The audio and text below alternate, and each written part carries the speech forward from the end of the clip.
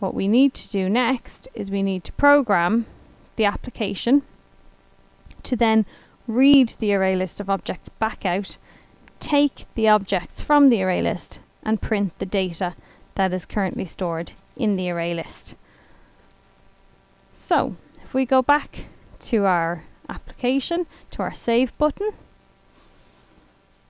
not our save button, our view saved button.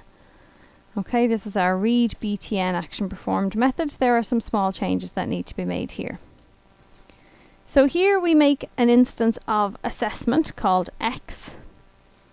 And we're going to just comment that out because now we're not going to make one instance of assessment. We're reading an entire array list of assessments. So we're going to make an array list. An array list of type assessment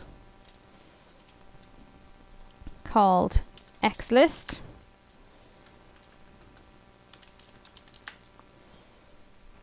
And that xlist is a new instance.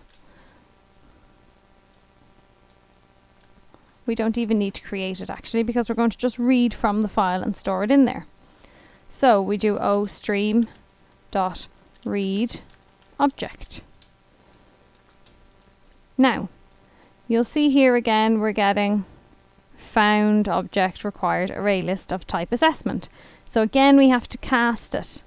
And we cast it by saying it's an array list of type assessment. So read the object, cast it so that it's an array list of assessments and store it in xlist.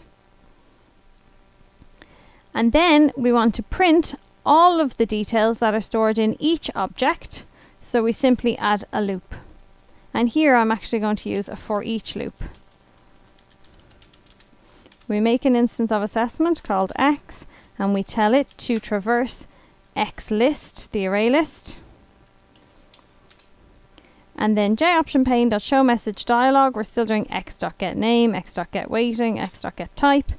And we close our loop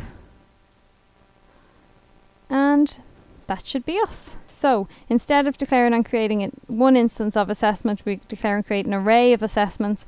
We read the object and cast it as an array list of assessments, and then we traverse the array list to pull out all of the details. So let's try play that. And view saved, OP exam, terminal waiting, 5, project, terminal, 0.5, and quiz formative 0. And so it's pulling the object, the array of objects, out of the file, it's taking the objects out of the array list, and it's taking the data out of each object. So that sums up writing and reading array lists of objects to and from files.